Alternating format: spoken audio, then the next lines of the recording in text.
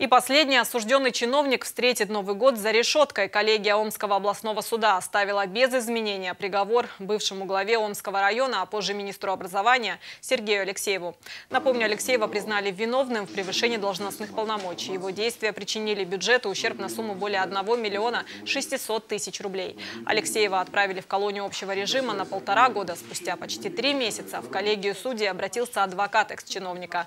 Михаил Романовский представил справки о плохом плохом здоровье подзащитного. Также адвокат приложил документы о необходимости ухода за матерью бывшего чиновника. Суд, выслушав доводы Романовского, оставил приговор без изменения. Полтора года колонии общего режима.